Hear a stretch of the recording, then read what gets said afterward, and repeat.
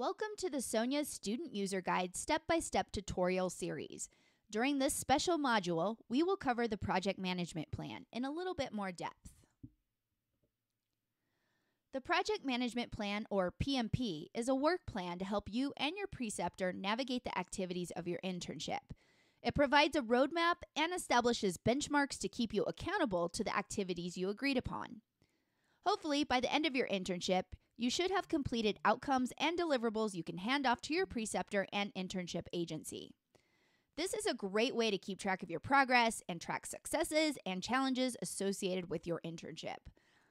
As part of your PMP, you will develop a goal to coincide with your public health problem.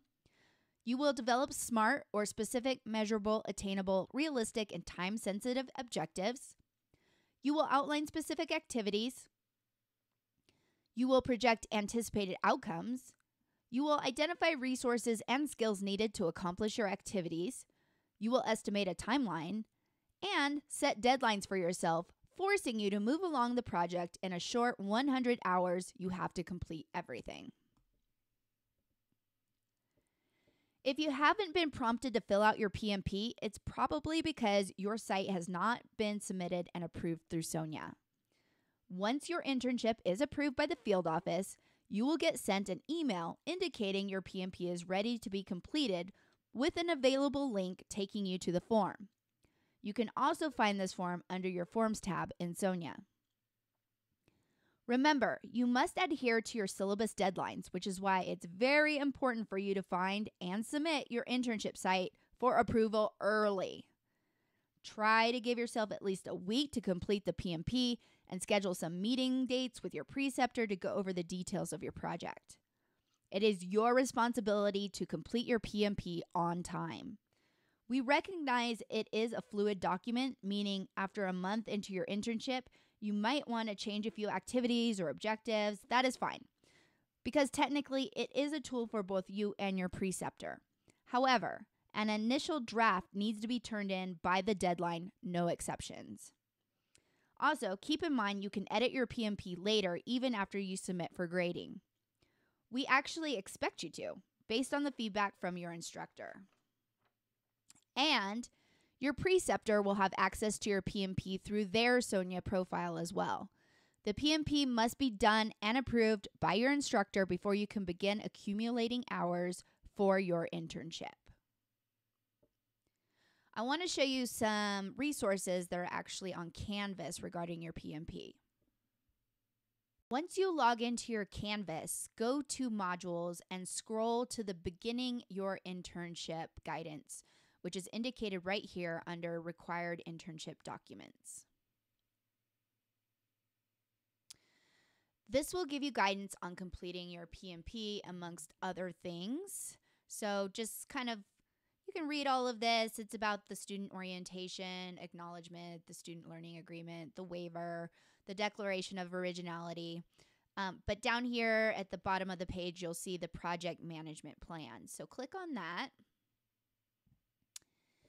And it gives you a little guideline, if you will, about the PMP. So Discussing the project. Sit down with your preceptor and learn about the agency. This will help you identify the public health problem you'll be addressing. Ask your preceptor about what projects are currently being worked on and what projects have been put off due to being under resourced. Then ask them what their needs are. This is really kind of honing down what that specific project might be that will go into your PMP. And then you go to the drawing board, and I have some resources here for you, such as the PMP template, um, more information on developing SMART goals. So now that you understand what you need, you can develop your overarching goal and your activities and all of that. Just start drafting it. And you definitely want to do that courtesy review with your preceptor to make sure that you're on the right track. You ultimately are responsible for filling this out. They do not fill it out. However, they probably want to know what goes into it if they have time. And then, of course, you turn it in through Sonia and you assess your progress by. I always suggest scheduling regular check ins with your preceptor and bringing your PMP to those meetings. So that way you can go through your PMP and say, Yes, I checked this, I've done this, uh, I need help with this type of thing. And underneath here, you'll see there's actually an example for you to look at. Now let's review the pieces of your PMP. It really begins with your overarching goal statement. What are you trying to accomplish at your internship? What outcomes and deliverables are expected? Remember to make it relevant to your internship project. And lastly, you want to be sure to identify your public health problem and what you are doing as part of your internship to alleviate or work towards that problem. So, this is the example PMP that's in Canvas.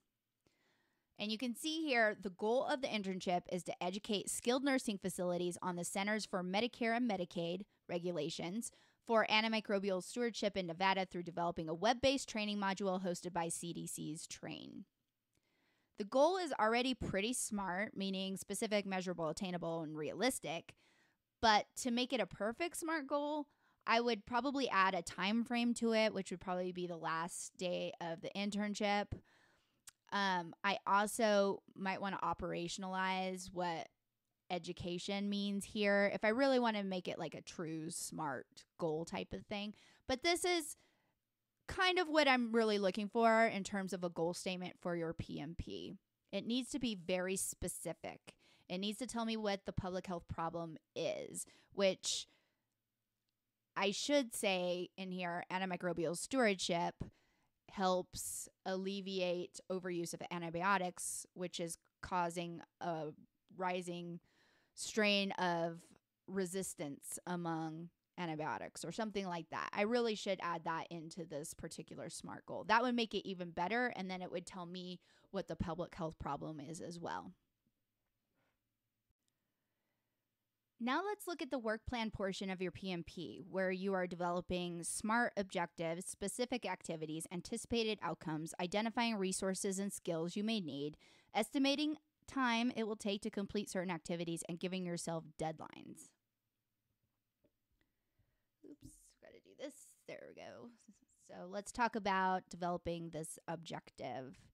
It's very important you make your objectives smart, specific, measurable, attainable, realistic, and time sensitive.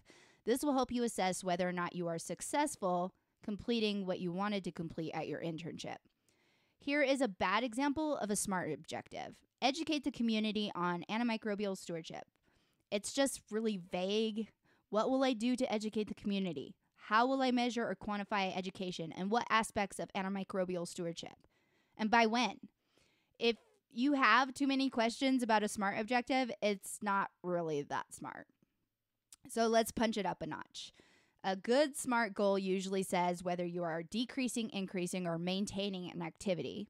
So, to make this a better SMART objective, I'm going to increase the number of educational outreach events from 0 to 10 by May 3rd, 2019. Now, I have operationalized educating the community by saying I'm going to count the number of educational outreach events my goal is 10 and it looks like my baseline is zero. So now I can actually count how many educational outreach events I will be implementing. Very measurable. And then I put a date to it so I have a goal in mind. Okay, let's go back here. Now, the next question to ask myself would be okay, what do I need to do to accomplish this objective? I need to identify my learning objectives for the training. I probably need to transcribe CMS regulations for skilled nursing facilities into our PowerPoint. You can even say, I need to actually look up what those CMS regulations are.